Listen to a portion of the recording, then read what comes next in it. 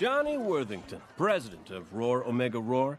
What's your name, Big Blue? I would just like to say that as a rich capitalist, I welcome your tyrannical rule. Perhaps I can be one of your, uh, horsemen of the apocalypse?